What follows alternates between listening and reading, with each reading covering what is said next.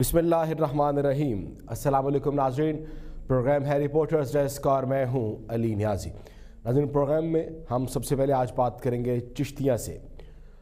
جہاں پر ایک حادثہ ہوا ہے اور اس حادثے میں بتایا یہ جا رہا ہے کہ چشتیاں کے قریب بس الٹ گئی ہے اس بس کے الٹنے سے چھ افراد جاں بھک ہوئے ہیں. پندرہ افراد زائد بتایا جا رہا ہے کہ زخمی ہیں. یہ بس مروٹ سے لاہور جا رہی تھی اور شدید دھند کے باعث یہ حادثہ پیش آیا ہے اور اس حادثے میں بس الٹ گئی جس کے باعث چھ افراد جہاں بھاگ ہوئے ہیں۔ یقینی طور پر یہ ایک افسوسناک بات ہے۔ اس حوالے سے ناظرین، ہم بات کر لیتے ہیں۔ ہمارے ساتھ موجود ہوں گے حافظ محمد جاوید۔ تفصیلات ہم ان سے لیں گے۔ حافظ جاوید احمد، کیا بتائیں گے آپ اس حوالے سے ہمارے ناظرین کو؟ جی بالکل علی نیازی، شدید دھند کے باعث مسافر بس جو ہے الٹ گئی۔ بس الٹنے سے چھ مسافر موقع پر جام بھاگ ہو گئے، جبکہ پندرہ مسافر زخمی ہوئی زخمیوں میں تین کی حالت تشویشناک بتائی جاتی ہے۔ حادثہ فوٹا باس سے مروٹ فوٹا باس روڈ پر اناسی موڑ کے قریب پیش آیا۔ ریسکیو ٹیمیں موقع پر پہنچ گئی اور زخمیوں کو مقامی ہسپتال منتقل کیا جا رہا ہے۔ بس مروٹ سے لاہور جا رہی تھی اور مقامی پولیس جو ہے وہ بھی موقع پر پہنچ گئی ہے۔ ہلاک ہونے والوں میں دو بچے اور دو خاتون بھی شامل ہیں۔ جی علی ٹھیک ہے حافظ جاوید ہمارے ساتھ آپ موجود تھے چشتیاں سے اور وہاں کی صورتحال ہمارے ناظرین کو آپ نے بتائی جہاں پر بس الٹی ہے اور بس الٹنے سے جو ہلاکتیں ہوئی یقینی طور پر یہ ایک افسوسناک واقعہ وہاں پر ہوا ہے۔ اس کے علاوہ ناظرین بات کریں گے ہم حافظ آباد سے وہاں پر حافظ آباد روڈ پر جو ہے تیز رفتار، ڈمپر نے تین موٹر سائیکل سوار کچل ڈالے ہیں۔ دو کزن اور ایک دوست جو ہے اس میں جہاں بکوا ہے، تین افراد مجموعی طور پر اس میں جہاں بک ہوئے ہیں، ایک موٹر سائیکل پر تینوں سوار تھے اور اپنے جو کاروباری زندگی ہے، وہاں پر پہنچ رہے تھے، جہاں پر یہ حادثہ رونما ہوا ہے۔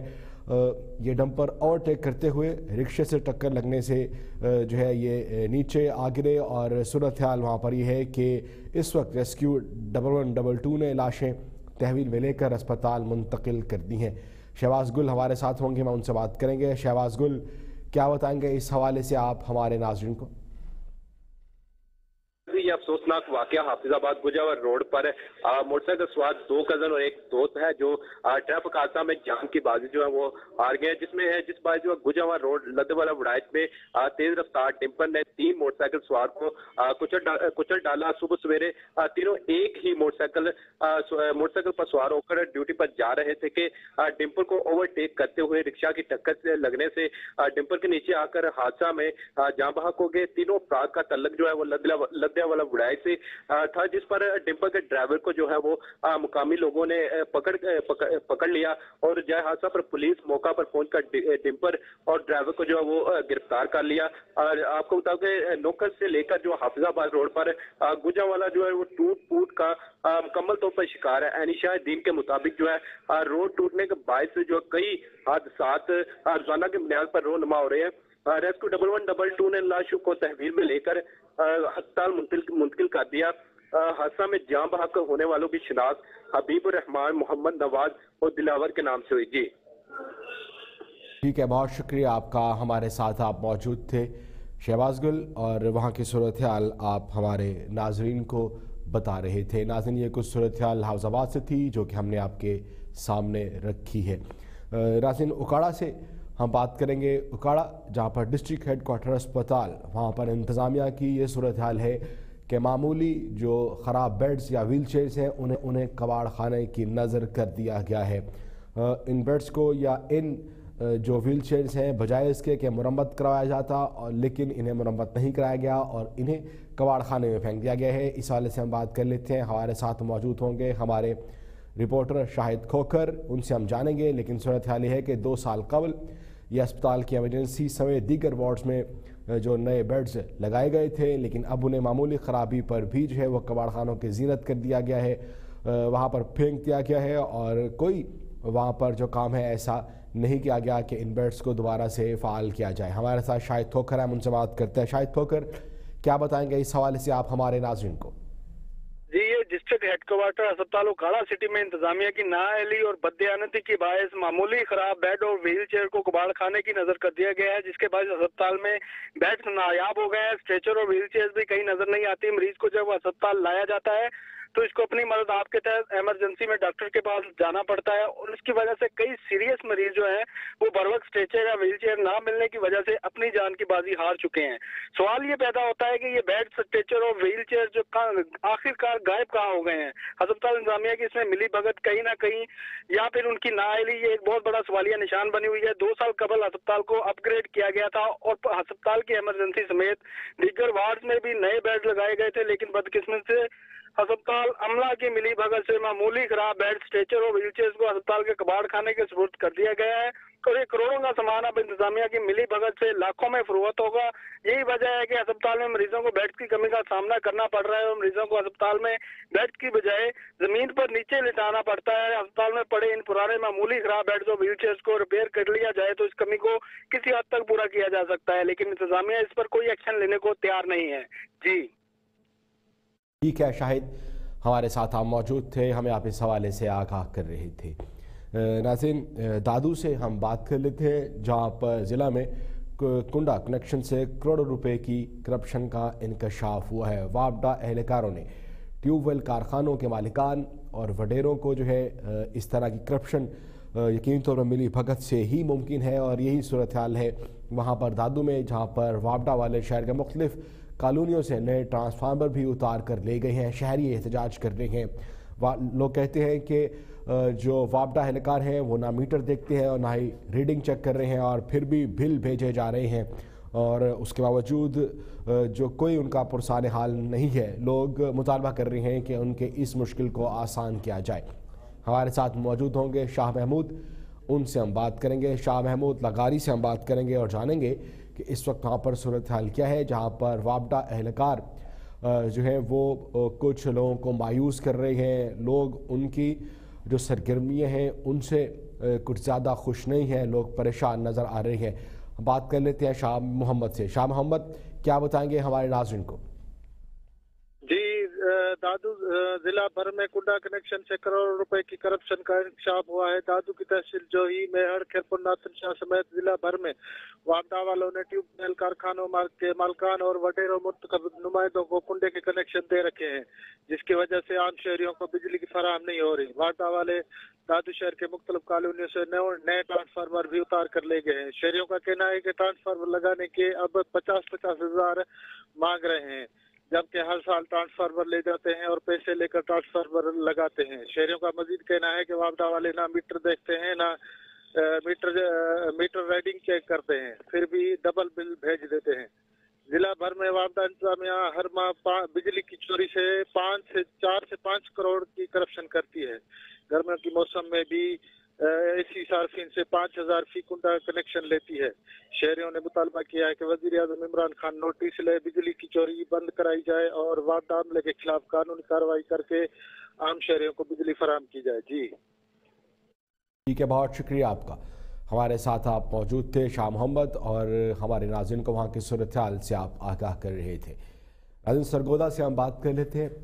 سرگودا جہاں پر ایک اور پولیس اہلکار، جس کا نام محمد شہباز بتایا جا رہا ہے، اس سے منشیات برآمد ہوئی ہیں۔ پولیس ملزم جو ہے، وہ گاڑیوں منشیات سپلائی کرتے ہوئے تھانہ کے جو آفیسرز ہیں، ان کے ہتھے چڑھ گیا ہے۔ ملزم سے ڈیڑھ کلو سزائے چرس برآمد کر لی گئی ہے۔ یہ کچھ صورتحال ہے جہاں پر یہ پولیس کی سربراہی میں کام ہو رہا تھا، لیکن پولیس نے خود ہی کارروائی کی اور اس شخص کو گرفتار کیا ہے، گرفتار کر کے رنگ ہاتھوں جو ہے، اس شخص کو دھر لیا ہے۔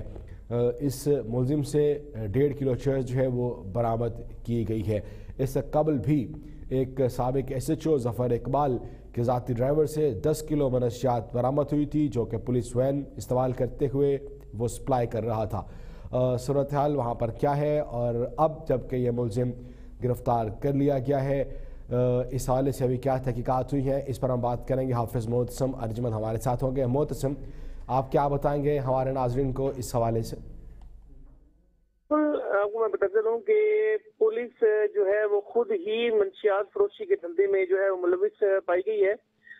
جس پر شباز نامی جو لڑکا ہے وہ آج جو ہے پکڑا گیا ہے، جس سے تقریباً پندرہ سو چالیس کلو گرام جو ہے وہ ہیروئن برامد ہوئی ہے جس پر مقدمہ بھی درج کیا گیا ہے۔ کے ذرائع کے مطابق اس کے ساتھ انوالومنٹ جو ہے وہ سب انسپیکٹر مدر گوندل کی بھی شو کی جا رہی تھی، جس پر ڈی پی او سرگودا کا بل فور ایکشن جو ہے وہ سامنے آیا ہے۔ انہوں نے مدر گوندل جو ہے اس کو بھی معطل کر دیا ہے اور تحقیقات کا آغاز جو ہے کر دیا ہے۔ جبکہ مدر گوندل ذرائع کے مطابق مدر گوندل کا یہ کہنا ہے کہ ہماری اس میں کوئی انوالومنٹ نہیں ہے۔ یہ شبار نامی لڑکا جو ہے، یہ مسلے وغیرہ جو ہے وہ تھانے میں لکھا کرتا تھا اور اس سے ہمارا کوئی تعلق نہیں ہے، لیکن ڈی پی او سرگودا ہمارا اطر صاحبہ نے جو ہے اس پر ایکشن لیا ہے اور انہوں نے مدر گوندل کو جو ہے متل کر دیا ہے، جبکہ شبار نامی بندے پر جو ہے وہ نائن سی کا پرچہ جو ہے وہ درج کر لیا گیا ہے اور تحقیقات کا آغاز جو ہے وہ کر دیا گیا ہے۔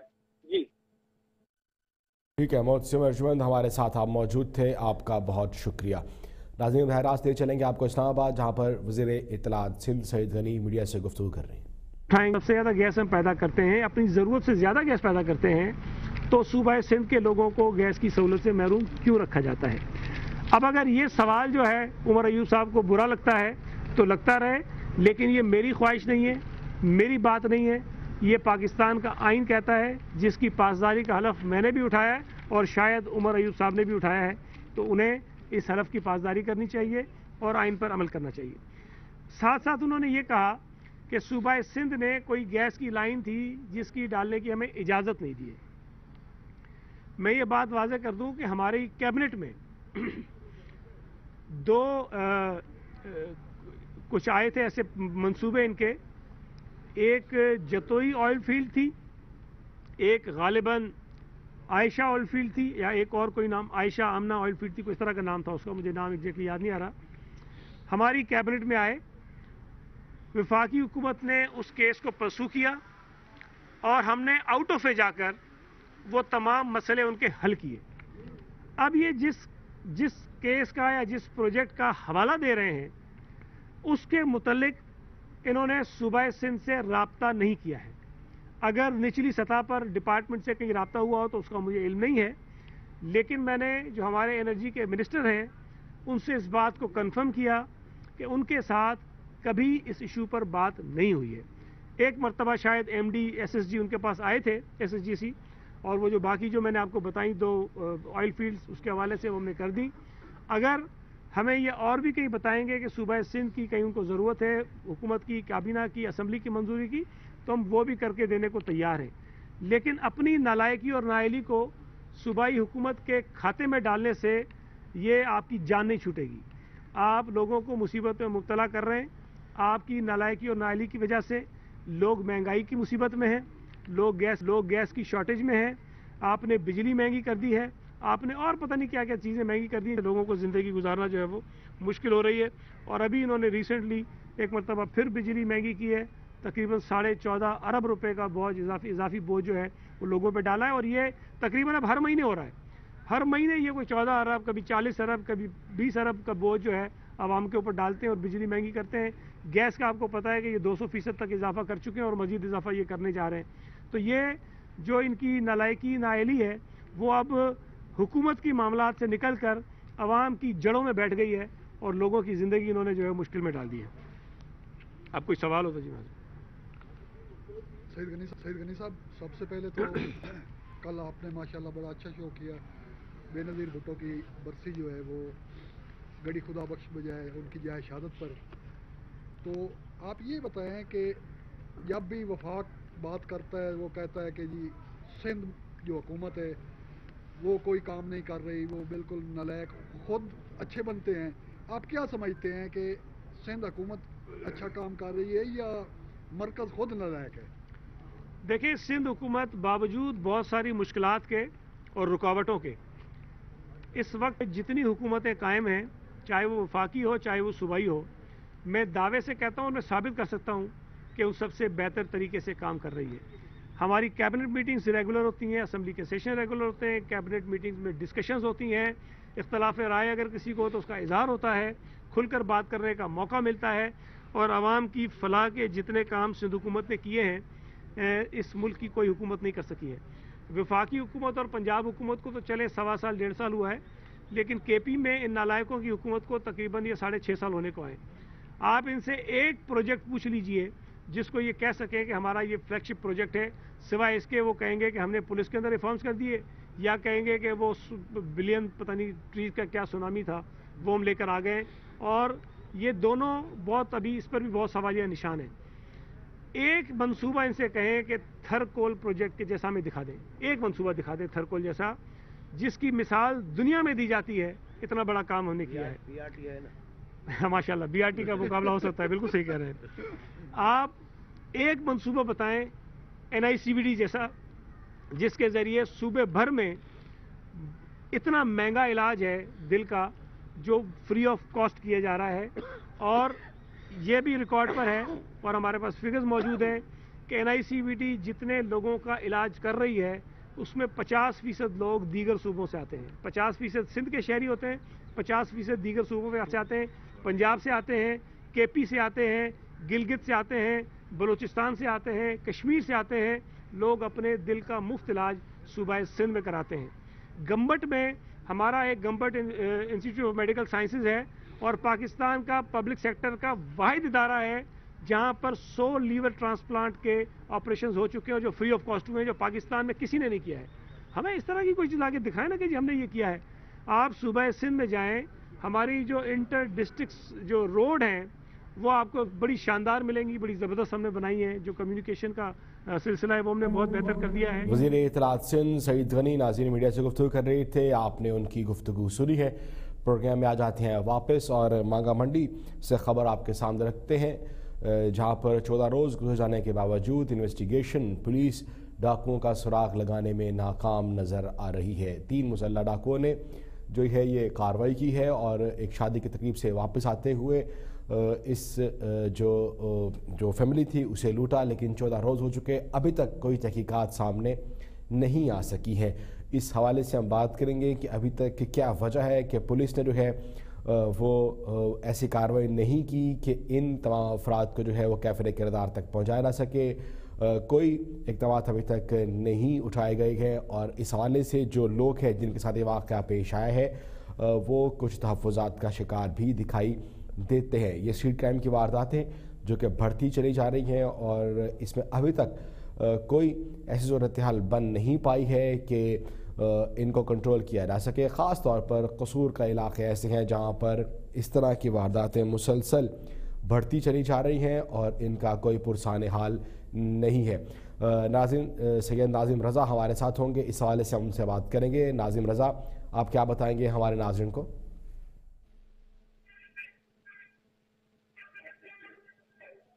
ناظم رضا، اگر آپ مجھے سن پا رہے ہیں تو کیا معلومات ہیں آپ کے پاس؟ پولیس ابھی تک چودہ روز ہو چکے، کیا وجہ ہے کہ ان ڈاکوں کا سراغ لگانے میں ناکام ہے بالکل علی بھائی، ایسے ہے کہ یہ چودہ روز قبل جو ہے ڈکیتی کی واردات ہوئی ہے اور آج تک انویسٹیگیشن پولیس جو ہے وہ اس کا سراغ لگانے میں بالکل ناکام ہے۔ یہ دو سے دو لاکھ روپے کا تقریباً تخمینہ ہے اس کا۔ یہ جو ڈکیتی ہوئی ہے روڈ پہ۔ اور مانگا منڈی میں آئے روز ڈکیتیوں کا جو سلسلہ ہے، وہ نان سٹاپ جاری ہے۔ یکے بعد دیگر جو ہے وہ ڈکیتیاں ہو رہی ہیں۔ مگر جب جو لوگ لٹے، انہوں نے جب پولیس سے رابطہ کیا تو پولیس بجائے اس کے کہ ان کو یہ ملزم ٹریس کریں یا کچھ بتائیں، وہ کہنے لگے کہ آپ خود جو ہے نا، وہ ڈاکوں کا تعاقب کریں۔ آپ خود ڈاکوں کو ٹریس کر کے ہمیں بتائیں۔ مانگا منڈی پولیس جو انویسٹیگیشن انچارج ہے، یہ اس کا کہنا ہے۔ مانگا منڈی پولیس بالکل ناکام ہو چکی ہے ملزموں کو پکڑنے میں۔ جی۔, جی، ٹھیک ہے بہت شکریہ آپ کا۔ سید ناظم رضا ہمارے ساتھ آپ موجود تھے مانگا منڈی سے، اور مانگا منڈی کی یہ صورتحال آپ نے ہمارے ناظرین کے سامنے رکھی ہے۔ ناظرین، توبہ ٹیک سنگھ سے بات کر لیتے ہیں، جہاں پر اسسٹنٹ کمشنر نے قبضہ مافیا کے خلاف کارروائی کی ہے۔ اور اس کارروائی میں چار ایکڑ سرکاری رقبہ جو ہے وہ واگزار کروا لیا گیا ہے۔ اس سے قبل بہت سے مقامات پر، بہت سے شہروں میں ہم نے دیکھا ہے کہ اس طرح کی کارروائی کی گئی ہے۔ سرکاری جگہوں کو واگزار کروایا گیا ہے۔ یہ اسی کی ایک کڑی ہے کہ یہ کاروائیاں مسلسل جاری ہیں۔ ٹوبا ٹیکسنگ میں یہ کارروائی ہوئی جہاں پر چار ایکڑ سرکاری اراضی تھی جسے واگزار کروایا گیا ہے۔ بات کریں گے ہم میاں معظم علی سے۔ معظم علی، کیا بتائیں گے آپ اس حوالے سے؟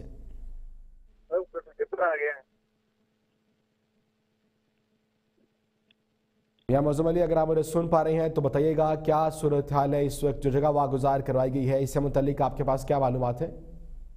جی بالکل، یہ ٹوپا ٹیس ہے۔ اسسٹنٹ کمشنر مرحبان احمد کی ہدایت پر سات سو چوہتر رقبے میں لاکھوں روپے کی سرکاری جو رقبہ تھا اسے واگزار کرا دیا گیا اس آپریشن میں اسسٹنٹ کمشنر کی ہدایت پر تحصیلدار خالق داد، ہلکا پٹواری بابر سلطان اور اشرف کانگو نے حصہ لیا۔ سسٹر کمشنر سے مزید کہنا ہے کہ قبضہ مافیا خلاف آپریشن جاری رہے گا۔ جی۔ میاں موزم علی، آپ کا بہت شکریہ۔ ہمارے ساتھ آپ موجود تھے اور وہاں کی صورتحال ہمارے ناظرین کو آپ بتا رہے تھے۔ ناظرین، ایک کچھ صورتحال تھی ٹوبا ٹیک سنگھ سے، جو کہ ہم نے آپ کے سامنے رکھی ہے۔ ناظرین، ہم بات کرتے ہیں ہب سے، جہاں پر ہب رسبیلا پاکستان کوسٹ کارڈز کے مختلف کاروائیاں انہوں نے کی ہیں۔ وندر کے قریب ناکاکھاری چیک پوسٹ پر کوئٹہ سے کراچی آنے والی کوچ کی جب تلاشی لی گئی ہے تو دو افراد گرفتار ہوئے ہیں کیونکہ خفیہ طریقے سے اس بس میں جو ہے منشیات چھپائی گئی تھی، جسے برامت کر کے دو افراد کو گرفتار کر لیا گیا ہے سپر ہائی وے۔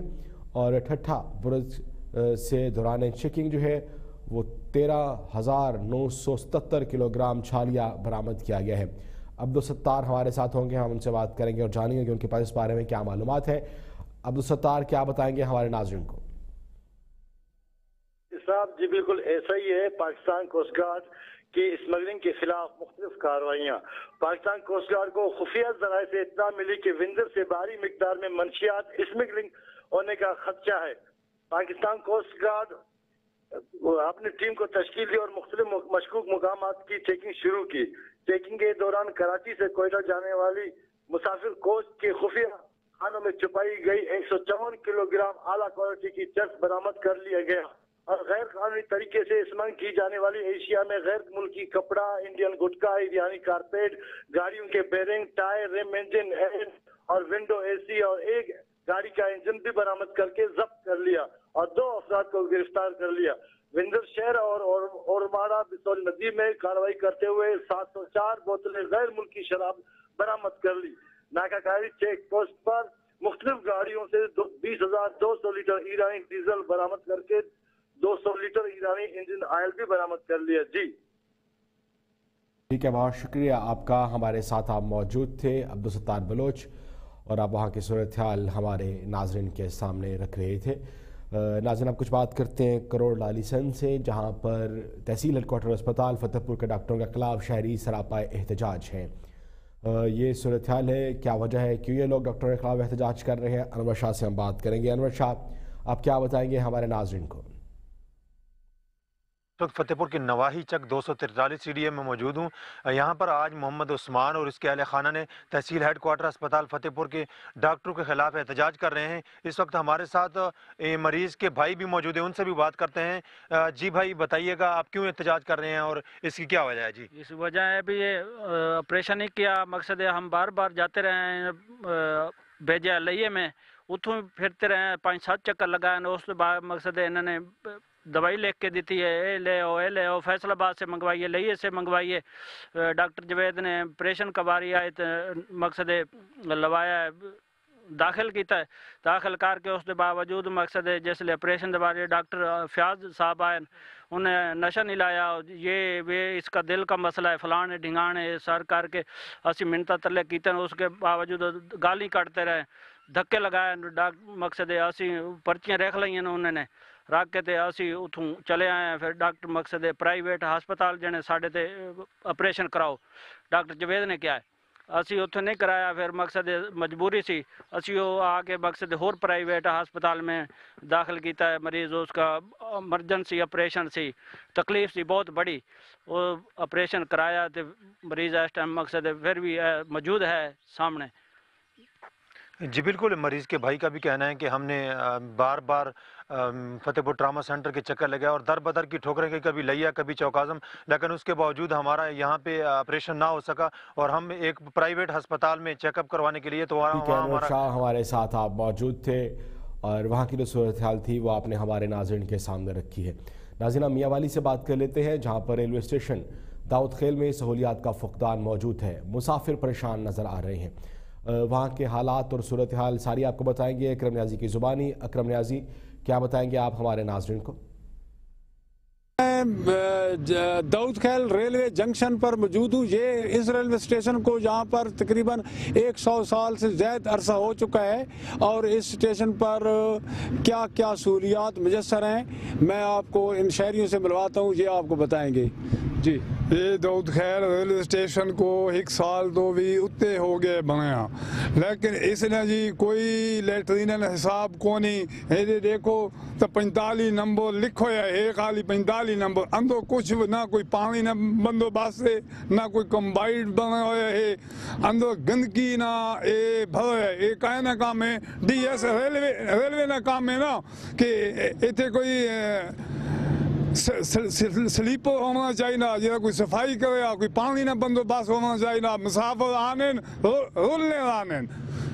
صاحب انہوں کو صفائی کرنی چاہیے۔ نہیں آئے اس جنکشن نہیں لکھنی آمدن ہیں۔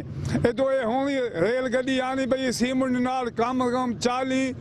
تو اسی بوگی ہو سی سیمنٹ نے لوڈ کہا کہ کھڑے سن سیمنٹ فیکٹری جو آمدن اتنی زیادہ ہے۔ لیکن کام کام دیکھو تو کوئی کام کو نہیں تھی ہویا۔ نہ کہ تائیں واش روم نظر آنا پہ جی ہے بھی صحیح تو بلائے نام جی ہے جی۔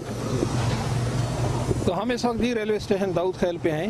تو یہاں ہم نے تھوڑا سا جائزہ بھی لیا ہے، خود بھی، اور یہاں پہ جو بنیادی سہولیات ہیں، سب سے بنیادی جو مسئلہ ہے کہ واش روم کا بہت بڑا مسئلہ ہے۔ اور اس کے ساتھ یہاں پہ ایک شیڈ کی بڑی ضرورت ہے کہ بہت بڑی جگہ پڑی ہوئی ہے۔ پہلے بھی واقعی وزیر جہاں سے گزرے تھے اور ریلوے کے ایک بڑے افسر آئے تھے، تو اس وقت بھی شہریوں نے مطالبہ کیا تھا کہ یہاں پہ شیڈ بنایا جائے۔ انہوں نے کہا تھا کہ منظور کر دیا گیا ہے۔ مجھے تو آج تک سمجھ نہیں ہوئی کیسی منظوری ہوتی ہے جو اعلان کر کے پھر آفیسر چلے جاتے ہیں اور اس کو بھی اب کئی پتہ نہیں ماہ ہو گئے ہیں، لیکن ابھی تک وہ شیڈ بھی نہیں بنایا گیا۔ تو یہاں واش روم تو بہت ہی بری حالت کے اندر پڑے ہوئے، نہ کوئی پانی ہے، بلکہ نہ کوئی پاٹ جہاں لگائے ہوئے ہیں، کچھ بھی نہیں ہے۔ پتہ نہیں بیچارے مسافر جہاں جو آتے ہیں، وہ کس حالت میں یہاں سے گزر کے جاتے ہیں۔ جی آپ نے سن لیا کہ یہ شہری بتا رہے ہیں کہ یہاں اس جنکشن پر واش روم نہیں ہے اور جو ایک برائے نام کا انہوں نے پردہ سا بنایا ہوا ہے اس میں نہ تو کموڈ ہے اور نہ ہی پانی۔ تو جی آپ جی اب جی آپ نے سن لیا کہ یہ کس قسم کے ماحول میں یہ جی، شکریہ۔ اکرم نیازی ہمارے ساتھ آپ موجود تھے۔ وہاں کی صورتحال آپ ہمارے ناظرین کے سامنے رکھ رہے تھے۔ ناظرین گوجرا سے بات کرتے ہیں۔ جہاں کا ریلوے اسٹیشن کھنڈرات کا منظر پیش کر رہا ہے۔ نہ کوئی چھت ہے، محفوظ ہے اور نہ ہی وہاں پانی۔ دستیاب ہے۔ لوگ احتجاج کرتے نظر آتے ہیں۔ ہمارے ساتھ ہیں شاہد ندیم، ہم ان سے بات کرتے ہیں۔ شاہد، کیا بتائیں گے اس حوالے سے؟ موجود ہیں گوجرا ریلوے اسٹیشن پر، جو اس وقت کھنٹرات کا روپ دارے ہوئے ہے اور جگہ جگہ گندگی کے ڈیر لگے ہوئے ہیں۔ لیکن یہاں پر مسافروں کو انتہائی مشکلات کا سامنا ہے اور اسی سے ہمارے ساتھ کچھ مسافر موجود ہیں، ہم ان سے پوچھتے ہیں۔ جی بتائیے آپ کو کن مشکلات کا سامنا ہے؟ جی۔ دیکھیں جی بالکل آپ بجا فرما رہے تھے، گوجرا کا جو ریلوے اسٹیشن ہے، بالکل ایک جنگل کا منظر پیش کرتا ہے، یہاں پر آتے ہیں، یقین مانے ہمیں خوف محسوس ہوتا ہے۔ تو ایک بڑی دلچسپ چیز تھی، یہاں پہ جب میں ٹکٹ لینے کے لیے گیا، یہاں پہ ٹکٹ کی جو ہماری ٹکٹ گھر ہے، وہ ہی نہیں تھا۔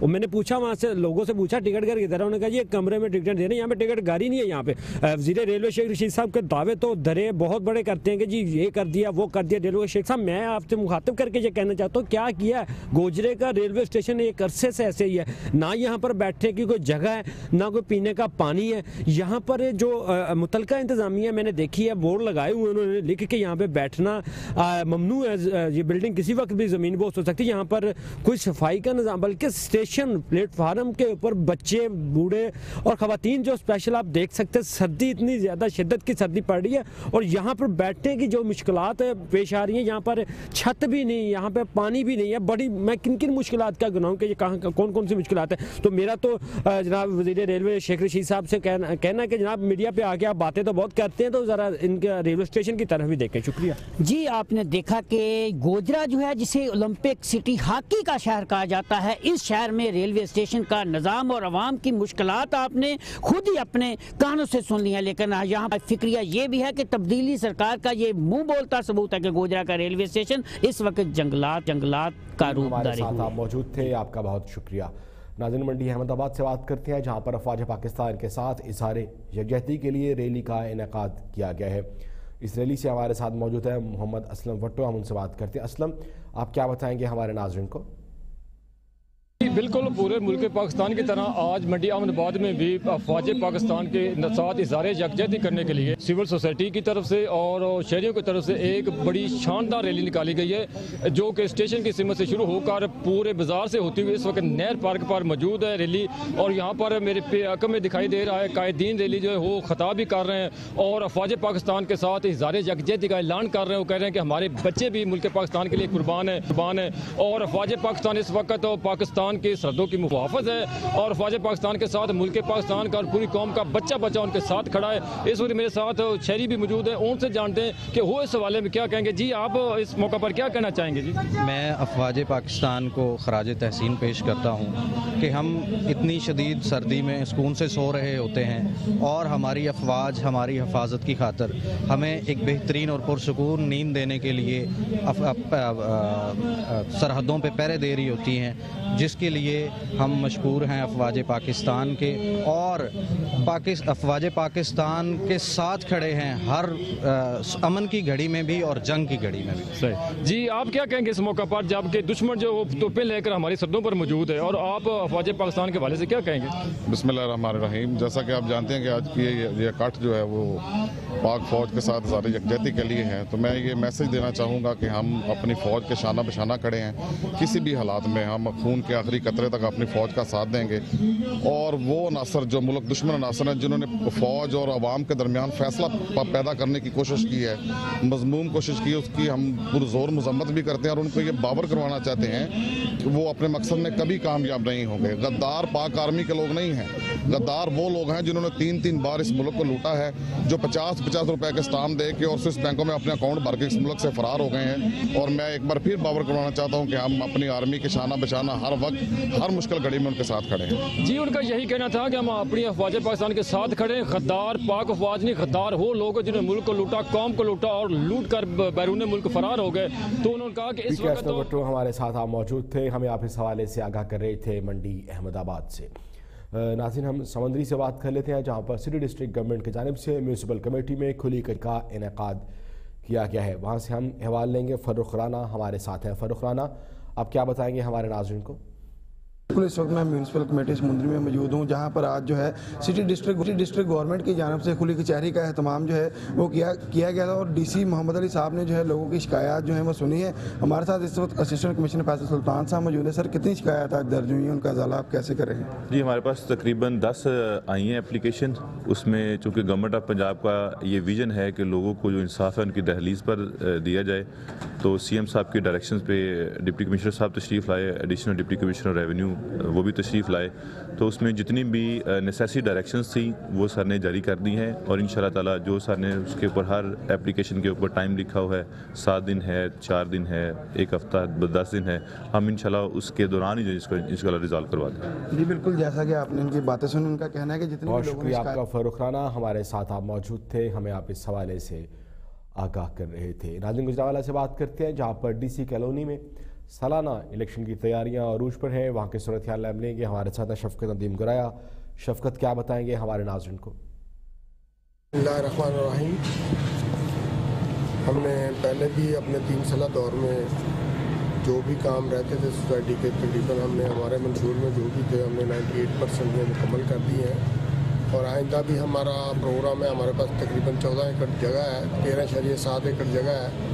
وہ اس میں ہم ایک اسٹیڈیم بنانا چاہ رہے ہیں جس کی ہماری پلاننگ ساری ہوگی آرکیٹیکٹنگ بھی ہوگی ہے ساری۔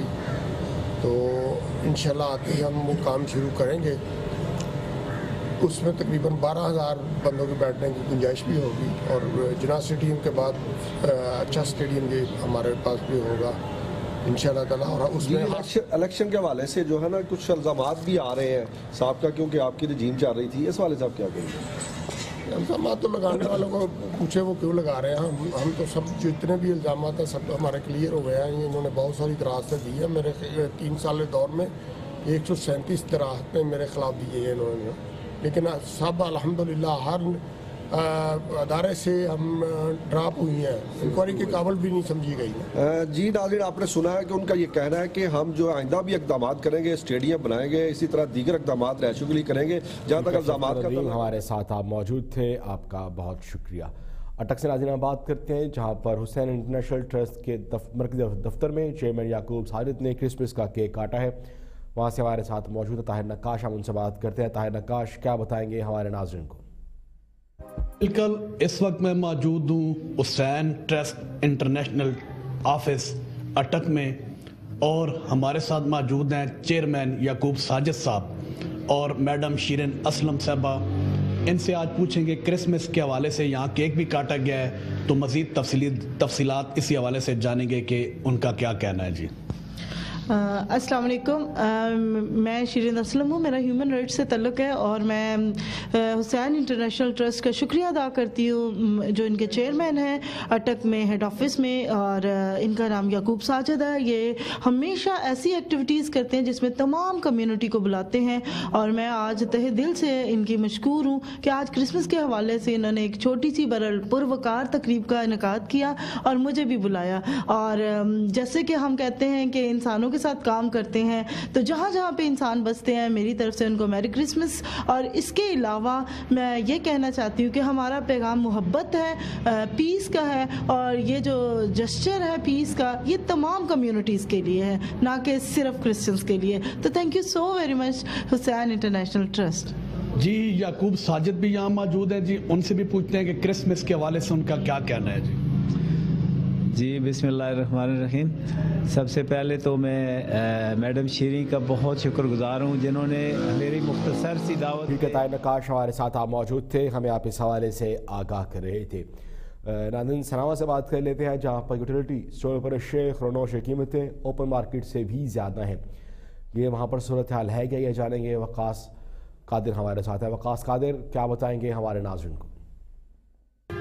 جی بالکل، میں اس وقت موجود ہوں سناما یوٹیلٹی اسٹور پر۔ یوٹیلٹی اسٹور پر خرد و نشیشہ کی بات کی جائے تو عام بازار کی نسبت یہاں پر ریٹ زیادہ ہیں۔ چینی بازار میں ستر پر مل رہی ہے اور یہاں پر پچھتر روپے ریٹ ہے اور گھی بھی انتیس روپے ریٹ اضافہ کر دیا گیا ہے اور دال کا میں بھی دس روپے ریٹ میں اضافہ کر دیا گیا ہے اور گورنمنٹ کی طرف سے چھ ارب روپے کا ریلیف تو دیا گیا ہے۔ لیکن جو آٹھ دن بھی نہ چل سکا اور ریلیف کا غریب عوام کو کوئی فائدہ نہیں ہوا، اس وقت ہمارے ساتھ خریدار موجود ہیں، ہم ان سے بات کرتے ہیں۔ وہ گورنمنٹ کے ان ریٹ جو اضافہ ہے، ان کے متعلق کیا کہنا چاہتے ہیں؟ جی۔ جی السلام علیکم۔ میں اس ٹائم یوٹیل اسٹور پر شیخ الدروس خریدنے کے گھر سے حاضر ہوا، تو یہاں پر آ کے مجھے معلوم ہوا کہ جو چینی باہر مارکیٹ میں ستر روپے کلو اویلیبل ہے، یہاں پہ پچہتر روپے کلو ہے۔ اسی طرح اور چیزوں کو آپ دیکھ لیں کہ ان کا ریٹ یہاں پہ زیادہ ہے۔ جبکہ عمران خان نے کچھ دن پہلے ہی کئی ارب روپے کا جو سبسڈی دی تھی عوام کو، وہ ہم پوچھیں وہ سبسڈی کہاں ہے۔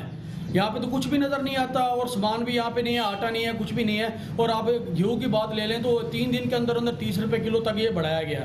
اس جگہ پر میں یہ کہنے پر مجبور ہو جاؤں گا کہ پی ٹی آئی ہے کہ مہنگائی ہے مہنگائی ہے پی ٹی آئی ہے مہنگائی آئی ہے مہنگائی ہے۔ جی بالکل اس مہنگائی میں غریب عوام انتہائی پریشان ہے اور ان کا مطالبہ ہے گورنمنٹ کے وقاس قادر ہمارے ساتھ آپ موجود تھے؟ سراوا سے۔ ناظرین ہم باجوڑ سے ایک رپورٹ آپ کو دکھاتے ہیں جہاں پر گیس اور بجلی میسر نہ ہونے کے باعث لوگ جو ہیں وہ انگیٹھیوں کا استعمال زیادہ وہاں پر کرتے ہیں اور کس طرح سے وہاں پر صورتحال ہے یہ جانیں گے۔ ایک رپورٹ پہ رحمان ولی کی رپورٹ ہے۔ آئیے رپورٹ دیکھتے ہیں۔ مندہ علاقہ ہے، لیکن پترتی حسن و جمال کے ساتھ یہاں صدیوں سے قائم پختون روایت آج بھی زندہ و تابندہ ہے۔ سردیوں کے موسم میں یہاں کمروں اور حجروں کو گرم رکھنے کے لیے بجلی یا گیس ہیٹر میسر نہیں ہوتی، اس لیے مقامی لوگ سردی سے بچنے کے لیے کمروں اور حجروں میں انگیٹیوں کا استعمال کر کے تپتی آگ سے لطف اندوز ہوتے ہیں۔ یہ ہمارے انگیٹھی بالکل ہمارے پختون کلچرل ٹریڈیشن کا حصہ ہے۔ اور نہ صرف یہ کہ ہم اس کو اپنے رومز گرم آتے ہیں اکثر میجورٹی سردیوں کو وقت۔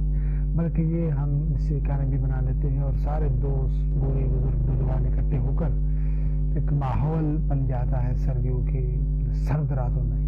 تو یہ ان کا بڑا زبردست مقام ہے ہمارا جی، یہ رپورٹ تھی رحمان ولی احساس کی۔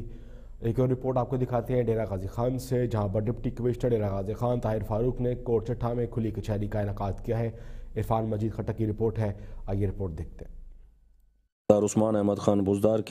ہدایت پر ڈپٹی کمشنر ڈیرہ غازی خان طیر فاروق نے کوٹ چھٹا میں کھلی کچہری کا انعقاد کیا۔ سائلین کی تحریری و زبانی درخواستوں پر احکامات جاری کیے۔ کھلی کچہری میں assistant commissioner quote Chattha, Malik Muhammad Shahid, A S P Hafeez ur-Rehman Bugti C O health doctor Khalil Ahmed کے علاوہ متعلقہ افسران موجود تھے۔ ڈپٹی کمشنر طیر فاروق نے اراضی ریکارڈ سینٹر کوٹ چھٹا میں کھلی کچہری کے شرکا سے خطاب کرتے ہوئے کہا کہ بزدار حکومت کی ہدایت پر ضلع کے تمام سرکاری دفاتر میں اوپن نور پالیسی پر عمل درآمد کرایا جا رہا ہے۔ سائلین کو کو عزت و تقریم دے کر ان کے مسائل سنے جاتے ہیں اور حل طلب مسائل پر فوری طور پر کارروائی کی جاتی ہے۔ انہوں نے کہا کہ کھلی کچہری کا مقصد لوگوں کے گھروں کے نزدیک افسران کو بلا کر ان کے مسائل کا حل تلاش کرنا ہے۔ انہوں نے مزید کہا کہ کھلی کچہری میں پیش کی جانے والی درخواستوں پر تین دن کے اندر عمل درآمد کر کے پیش رفت رپورٹ مرتب کی جائے گی اور درخواست گزار کو باقاعدہ مطلع کیا جائے گا۔ عرفان مجید خٹک۔ جی، رپورٹ دیکھی آپ نے عرفان مجید خٹک کی۔